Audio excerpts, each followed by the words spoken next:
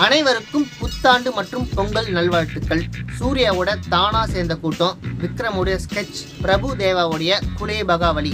இந்த மூணு படத்தோட ரிவியூவையும் ஒன்னாவே பார்த்துடலாம். ஏன்னா வந்த இந்த மூணு படத்துல ரெண்டு படம் சூரமொக்க. ஸோ தனித்தனியா ரிவ்யூ போட்டு உங்க டைமை நான் வேஸ்ட் பண்ண விரும்பல. வாங்க ரிவ்யூக்கு போகலாம் இப்போ நம்ம முதல்ல பார்க்க போற படம் விக்னேஷ் சிவன் டைரக்ஷன்ல சூரிய நடிச்சு வந்த தானா சேர்ந்த கூட்டம். நம்ம அப்படியே வேற ட்ராக் ஒருத்தன் பணக்காரனா இருக்க ஒரு கோடி பேர் பிச்சைக்காரன் ஆக்குறானுங்க அந்த பணத்தெல்லாம் தோண்டி எடுத்தாலே நம்ம நாட்டில் இருக்கிற பல பிரச்சனைகளை வேரோட புடுங்க முடியும். என்னது பிடிக்கிடுவீங்களா தனியா நான் மட்டும் ஒன்றும் புடுங்க முடியாது சார். நாமெல்லாம் சேர்ந்தா நிச்சயம் ஏதாவது புடுங்கலாம் சார்.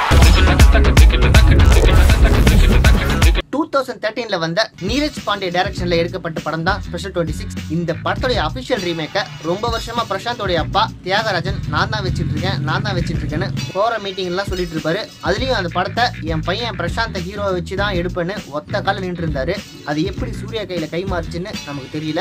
நல்ல வேளை அவர் எடுக்கல. சூப்பர் ஹிட் படமான சூப்பர் டுவெண்ட்டி சிக்ஸை நல்ல வேலை பிரசாந்த் நடிக்கல. ஒருவேளை அது சாகசமா ஆயிடுமோன்னு பயம் இருந்துச்சு எனக்கு.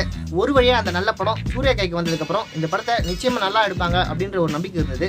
அந்த நம்பிக்கையை காப்பாற்றிட்டாங்க அப்படின்னு தான் சொல்லணும். டோட்டலாக சூப்பர் டுவெண்ட்டி சிக்ஸ் படத்தில் ஸ்க்ரீன் பிளேவை சுத்தமாக மாற்றி சூப்பராக எடுத்திருக்காரு விக்னேஷ் சிவன். நைன்டீன் எயிட்டி செவனில் மும்பையில் உப்பேரா ஹவுஸ் ஏஸ்ட் அப்படின்றது மிகப்பெரிய கேஸ் போலியான சிபிஐ ஆஃபீஸர்ஸ் டீம் ஒரு மிகப்பெரிய நகை கடையை ரைட் பண்ணி அப்போதைய மதிப்புக்கே கிட்டத்தட்ட முப்பத்தஞ்சு லட்சத்துக்கான நகையும் பணத்தையும் எடுத்துட்டு போயிருக்காங்க. இன்ன வரைக்கும் அதை திருடிட்டு போன கேங்கை கண்டுபிடிக்கல. அந்த கேஸ் இன்னும் பெண்டிங்கில் தான் இருக்கு. இதில் என்ன ஸ்பெஷல்னா அந்த கடையை ரைட் பண்ண கேங் லீடர் தவிர மிச்ச இருபத்தி ஆறு பேரும் ஒரே ஒரு நாளைக்கு முன்னாடி தான் போலியாக ரெக்கமெண்ட் பண்ணியிருக்காரு அந்த கேங் லீடர் அப்பனா அதுல எவ்வளவு பெரிய காமெடி இருந்திருக்கு பாத்துங்க ரெய்டுக்கு அந்த இருபத்தாறு சிபிஐ ஆஃபீஸர் தன்னை சிபிஐ ஆஃபீஸரை நினச்சிக்கிட்டு செஞ்ச வேலையை கற்பனை கதையை ஒரிஜினாலிட்டி மாறாமல் கண்ணுல பார்க்குற மாதிரி இருந்தது ஸ்பெஷல் டுவெண்ட்டி சிக்ஸ் ஆனா தானா சேர்ந்த கூட்டம் படத்தில் எந்த லாஜிக்குமே ஃபாலோ பண்ணாமல் கலர்ஃபுல்லாவும் ரொம்ப ஜாலியாகவும் மக்கள் ரசிக்கிற மாதிரி என்டர்டைன்மெண்ட்டை ரொம்ப அதிகமாக திணிச்சு கொடுத்துருக்காங்க. ஸ்பெஷல் டுவெண்ட்டி சிக்ஸில் காஸ்டியூம் வந்து ஆர்ட் டைரக்ஷன் வந்து ஆக்டிங்ல இருந்து எந்த ஒரு லாஜிக் மிஸ்டேக்ஸும் கண்டே பிடிக்க முடியாது. ஆனால் தானா சேர்ந்த கூட்டத்தில் ஆரம்பத்துல கடைசி வரைக்கும் ஏகப்பட்ட லாஜிக் மிஸ்டேக்ஸ் இருக்குதான். இருந்தாலும் படம் போகிற காமெடியிலையும் ஃப்ளோலையும் அதை எதுவுமே கண்டுக்க தேவையில்லை. ஏன்னா படம் அந்த அளவுக்கு செம்ம சூப்பராக இருக்கு.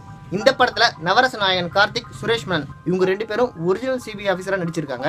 இந்த ரெண்டு பேருக்கு பதில் ஸ்பெஷல் டுவெண்ட்டி சிக்ஸ்ல ஒரே ஒரு ஆஃபீஸர் தான் அவர் தான் மனோஜ் பாஜ்பாய். அந்த படத்துல மனோஜ் பாஜ்பாய்க்கும் அக்ஷய்குமாருக்கும் பெருசாக சீன்ஸ் ஒன்றும் இருக்காது. ஆனால் தானா சேர்ந்த கூட்டத்தில் படத்தை அப்படியே திருப்பி போட்டு கடைசி இருபது நிமிஷம் சூர்யா கார்த்திக் சுரேஷ் மேனன் இவங்க மூணு பேர் சுற்றி தான் கதை போகுது. அதில் ஹீரோயிசம் கொஞ்சம் ஓவராக இருந்தாலும் ஹிந்தி படத்தில் வச்ச கிளைமேக்ஸ் நல்ல வேலை இதில் வைக்கல. ஏன்னா அது அந்த அளவுக்கு ஃபினிஷபிளாக இருக்காது. தமிழ் சினிமாவுக்கு இந்த கிளைமேக்ஸ் தான் பர்ஃபெக்ட் ஆனால் என்ன தானா சேர்ந்த கூட்டத்தில் எல்லாரும் ஈஸியாக மாட்டிக்கிற மாதிரியே லூப் போட்டு விட்டுருக்காங்க. ஆனால் ஸ்பெஷல் டுவெண்ட்டி சிக்ஸில் யாருமே கடுகளவு கூட மாட்டிக்காத அளவுக்கு பண்ணுவாங்க எல்லா வேலையும். இன்னமும் மாட்டலன்னா பார்த்துக்கோங்களேன் என்னமோ ஒரிஜினல் திருட மாதிரி எல்லாரும் நடிச்சிருப்பாங்க இதுல வர மொத்த கேரக்டரையும் ஈஸியா கேட்ச் பண்ணிடலாம். அந்த அளவுக்கு கொஞ்சம் டம்மியா தான் இருக்கு. நெஞ்சில நேர்மையும் சேர செய்யல நியாயம் இருந்ததுன்னா நாம எதுக்குமே பயப்பட தேவையில்லை. சொடக்கு மேல சொடக்கு போடுது ஃபோட்டோகிராஃபி நிறைய க்ளோஸ்அப் ஷாட்ல போய் பழைய செட்டெல்லாம் காட்டாம கொஞ்சம் கொஞ்சம் அப்படி அப்படியே அட்ஜஸ்ட் பண்ணி நல்லா ஒப்பேத்திருக்காங்க அது நல்லா தெரியுது அது நல்லாவும் இருக்கு. மியூசிக் சொல்லவே தேவையில்ல சாங்ஸ் வந்து பிஜிஎம் வரைக்கும் எல்லாமே அட்டகாசம். அதுலயும் சொடக்கு மேல சொடக்கு போடுதுன்னு டைட்டிலே ஒரு சாங் செம்ம குத்து ஆடிருக்காரு சூர்யா. ரொம்ப நாள் கழிச்சு ஒரு தர லோக்கல் சூர்யாவை இந்த படம் ஃபுல்லாவே நீங்க பார்க்கலாம்.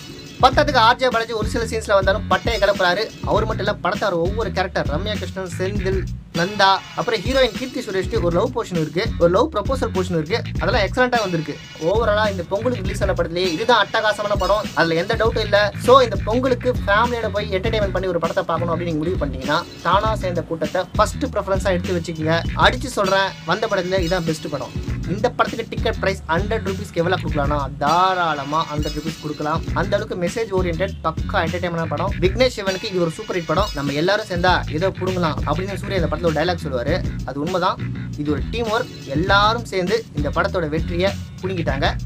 அடுத்து விக்ரமுடைய ஸ்கெட்ச்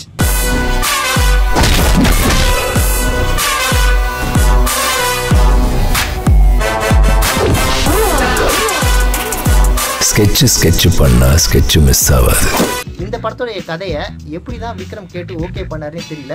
விக்ரம்க்கு டைமே சரியில்லை என்னன்னு தெரியல. பத்து என்றதுக்குள்ள பீமா ராஜபாட்டை ஜெமினி இந்த மாதிரி அவுடேட்டட் மேட்டரை ஒரு கதையை மிங்கிள் பண்ணி இந்த காலத்துக்கு ஏற்ற மாதிரி எதையோ மிக்ஸ் பண்ணி நம்மளுக்கு கொடுத்துருக்காங்க. படம் உட்காரத்துக்கு முடியும் தான் ஏதோ உட்காந்து பேனை விக்ரம்காக பார்க்கலாம். இருந்தாலும் இந்த காலகட்டத்துக்கும் ஜனங்களோட எதிர்பார்ப்புக்கும் விக்ரமுடைய மெச்சூரிட்டியான ஆக்டிங்க்கும் இந்த கதை தேவையா அப்படின்னு படம் பார்க்குற எல்லாருக்குமே தோணுது. படம் முடியும் போது தேவையில்லாமல் எதுக்கு இவர் இந்த மாதிரி படத்தெல்லாம் நடிக்கிறாரு? இதுக்கு அவர் சும்மாவே இருக்கலாமே அப்படின்னு தோண ஆரம்பிச்சிச்சு. விஜய் சந்தர் டைரக்ஷனில் வந்திருக்கு. இவர் ஏற்கனவே வாளுன்ட்டு சிம்பு வச்சு ஒரு படம் எடுத்திருந்தாரு. ஒன்றும் இல்லாத ஓட்டம்பலனே ஊதி ஊதி விற்கிறவர் வி கிரியேஷன் தானும் ஆனால் ஸ்கெட்சி படத்தை பற்றி கொஞ்சம் கூட வாயே திறக்கல.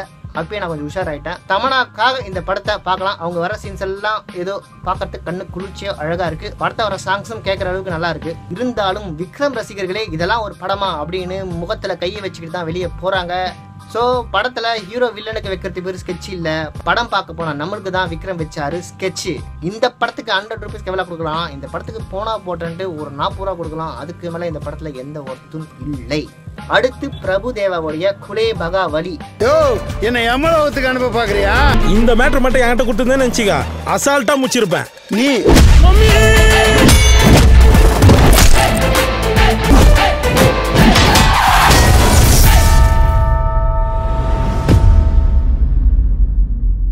ரோமியோ ஜூலியட் போகன் எடுத்த கல்யாண் தான் இந்த படத்தையும் டைரக்ட் பண்ணியிருக்காரு. பிரபுதேவாவுக்கு இந்தியில் மிகப்பெரிய மார்க்கெட் இருக்கு. அவருடைய டைரக்ஷனுக்கு அதையெல்லாம் விட்டுப்புட்டு ஒரு படத்தை நடிக்கிறாருன்னா நிச்சயமா அது ஒர்க்ஃபுல்லாக ஒரு தேவி மாதிரி இருக்கும் அப்படின்னு நினச்சி தான் போய் எல்லாரும் பார்த்தோம். ஆனால் பிரபுதேவாவுக்கு ஸ்கோப்பே இல்லாத ஒரு கதையில அவர் நடிச்சிருக்காரு. இந்த படத்தை பொறுத்த வரைக்கும் யார் நடிச்சிருந்தாலும் இந்த குவாலிட்டி தான் வந்திருக்கும். ஏன்னா ஏன்னா இந்த படத்தில் கதை அப்படின்னு ஒன்றுமே கிடையாது. ஃபுல் அண்ட் ஃபுல் புதையில தேடி ஒரு டீம் அலையிறது தான் ஒரு கதையை வச்சிருக்காங்க. இதுல மொட்டை ராஜேந்திரன் யோகி பாபு ரேவதி மன்சூர் அலிகான் ஆனந்தராஜ்னு ட்ரை பண்ணி ஏதோ காமெடி பண்றாங்க. சில இடத்துல அந்த காமெடி ஒர்க் அவுட் ஆகுது. சில இடத்துல அந்த காமெடி ஒர்க் அவுட் ஆகல. ஒரு சில இடத்துல ஒரு சில காமெடி குபீர்னு சிரிப்பை வரைச்சு எல்லாருக்கும் வயிறு வலி வந்துடுது அந்த மாதிரி comedy up and downs up and டவுன்ஸாக போகுது. த்ரோ அவுட் பக்கா காமெடி என்டர்டைனர் சொல்ல முடியாது. ஆனால் இந்த படத்தில் ஒரு சில இடத்துல அடக்க முடியாத அளவுக்கு சிரிப்பு வருது. அதில் எந்த டவுட்டும் இல்லை. படத்தில் பிரபுதேவா பக்காவாக டான்ஸ் ஆடுற மாதிரி ஒரு ரெண்டு சாங்ஸ் இருக்குது பிரபுதேவா நல்லா ஆடுவார் அப்படின்னு நாங்கள் சொல்லணுமா ஸோ மொத்தத்தில் இந்த படம் எப்படி இருக்குன்னா பொங்கலுக்கு ரிலீஸ் ஆன படத்திலேயே ரேங்க் ஃபர்ஸ்ட்ல இருக்கிறது தானா சேர்ந்த கூட்டம் ரேங்க் டூல இருக்கிறது குலே பகாவலி ரேங்க் த்ரீல இருக்கிறது தான் ஸ்கெட்ச் இந்த படத்துக்கு நூறு ரூபாய்க்கு எவ்வளோ கொடுக்கலாம் இந்த படத்துக்கு நூறு ரூபாய்க்கு தாராளமாக ஒரு சிக்ஸ்டி ருபீஸ் கொடுக்கலாம். ஸோ மக்களே இந்த தைப்பொங்கலை உங்களுக்கு பிடித்த திரைப்படங்களுடன் பகிர்ந்து கொள்ளுங்கள். பொங்கலை மகிழ்ச்சியாக கொண்டாடுங்கள். அடுத்த படத்தில் சந்திப்போம் மிஸ்டர் பிச்சு.